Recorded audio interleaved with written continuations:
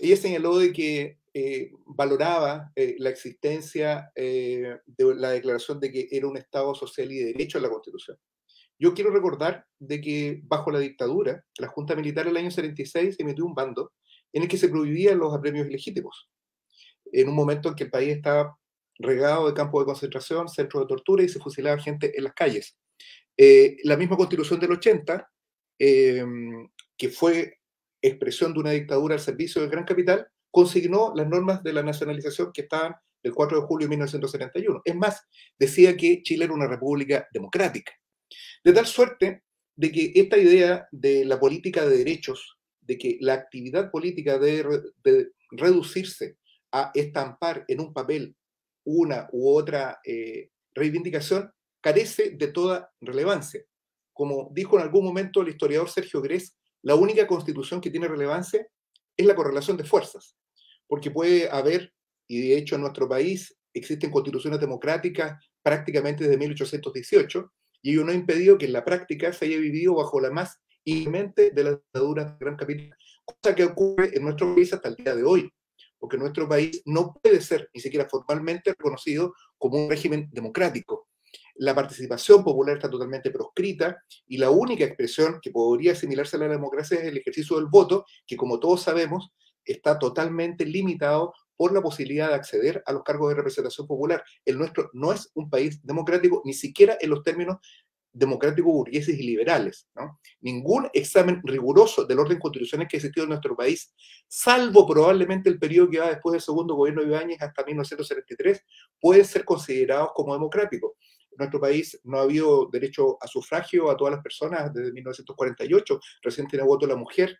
El Partido Comunista estuvo proscrito durante eh, más de 20 años en nuestro país y eh, ni hablar, digamos, después del año 73. De tal suerte que eh, la idea de que nosotros vivimos en un país democrático es totalmente falsa. Como también es falso sostener de que este gobierno es un gobierno que exprese los intereses de la mayoría, que sea un, gobierno democrático. Esto no es algo que lo diga yo, lo dice el propio gobierno.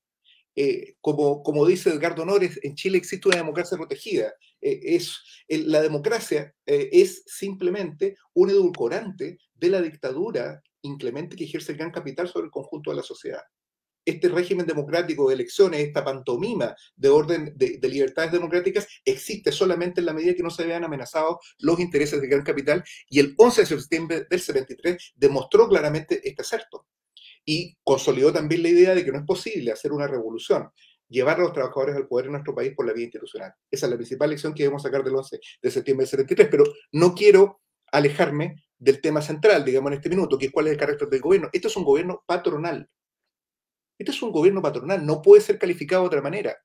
Cuando yo sostengo de que están eh, haciéndose los republicanos, es que las únicas iniciativas de ley que ha impulsado este gobierno en el Parlamento son las iniciativas de la derecha. Y el discurso es el discurso de la extrema derecha. No hay ninguna, ninguna iniciativa legal que haya sostenido este gobierno que tenga que ver con la satisfacción de necesidades sociales. Es más, el royalty en apariencia establece un, un, impuesto adicional a, las grandes mineras, pero de contenido lo que establece es una liberalización completa para la imposición de nuevos pertenencias mineras, porque las leyes hay que leerlas completo, completas. Lo mismo que la ley de las 40 horas. En apariencia es un derecho, pero si observamos la normativa de contenido, es un misil bajo la línea de flotación del sistema de derechos que supone el derecho al trabajo en Chile. Pone fin a la irrenunciabilidad, pone fin a la unidad de la prestación de servicios, pone fin a la, a la eh, digamos, al carácter consensual que debe tener la jornada, etc. Y establece un sistema en que el patrón puede hacer y deshacer tanto con la jornada como con inclusive con las remuneraciones. La, ley de las 40 horas es un ataque a los trabajadores, probablemente el más feroz que se ha inferido a nuestra clase desde el plan laboral de Pinochet. Entonces no vengan a decir que este es un gobierno que tiene intenciones democráticas porque lo que hace en la práctica las cosas en política son lo que son en la realidad, en los hechos y no las declamaciones. Esto es un gobierno que, se, que proclama la plurinacionalidad y el respeto a las naciones oprimidas y ha gobernado desde que se instalaron en la moneda con estado de excepción en contra del pueblo mapuche. En este momento, Héctor Yaitul está en la cárcel por sus ideas, y esto es algo que dijo el, abogado del gobierno y el Ministerio Público, por hacer apología de la violencia. Es más, inclusive estas expresiones que estoy vertiendo en este momento, esta crítica que le estoy haciendo al gobierno, también sería perfectamente pasiva de una acción por ley de seguridad interior del Estado. Porque en nuestro país tampoco existe libertad de prensa los, medios alternativos como, nuestra revista El Porteño y un montón de otros medios estén permanentemente acosados. Hay un montón de hechos noticiosos que ni siquiera trascienden a la opinión pública porque existe una dictadura absoluta de los medios amparado por el gobierno, un gobierno que no hace nada por cambiar esta situación. Entonces, precisamente por esas situaciones que no podemos sostener que esto es un gobierno que está atrapado, que está tratando de hacer cosas, no. Quiero terminar diciendo lo siguiente. Este gobierno llegó acá para materializar el acuerdo por la paz el Acuerdo por la Paz del 15 de noviembre del 2019. ¿Cuál es el sentido de ese acuerdo? Es un acuerdo en contra del proceso del, alzamiento popular, en contra del proceso revolucionario abierto a partir del 18 de octubre. Ese era su objetivo, la paz, restablecer el orden público. Las otras cosas eran chimuchina. ¿Cuál es el principal objetivo de este gobierno? Desarmar toda forma de resistencia popular. Y lo logró, consumó su objetivo. Por eso es que este gobierno no, no sirve para nada. Por eso es que este gobierno ahora es un muerto viviente, porque ya consumó su objetivo, lo consumó muy rápido. En este momento estamos experimentando un, retroceso en la actividad popular, en la actividad de resistencia, en la movilización, que está siendo ganado no solo por los aparatos represivos, sino también por el fascismo.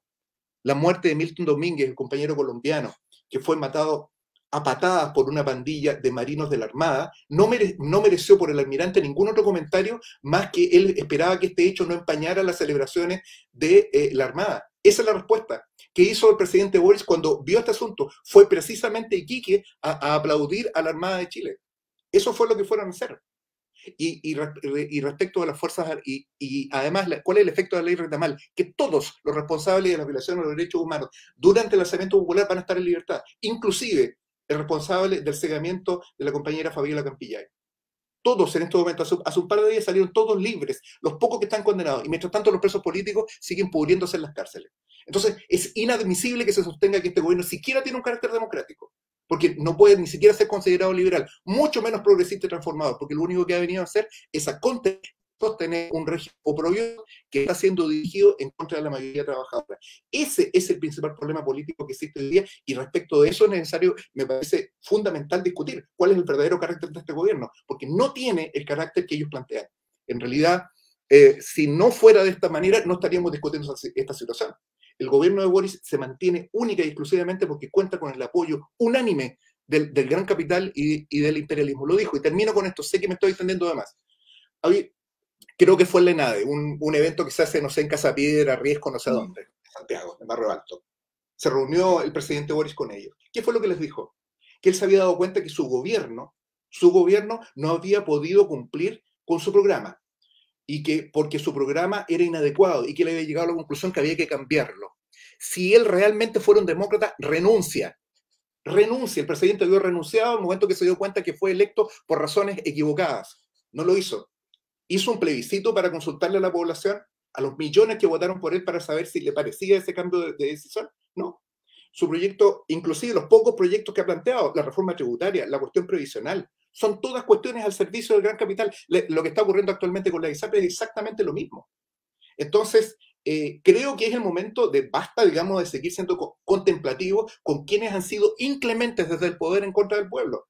No veo cuál es la razón de seguir abonando la idea de que sobre la base de este tipo de políticas, que son políticas absolutamente reaccionarias, es posible que se consideren transformaciones democráticas en nuestro país. Porque lo único que se está haciendo es pavimentar el camino al fascismo. Y eso es lo que representa republicanos.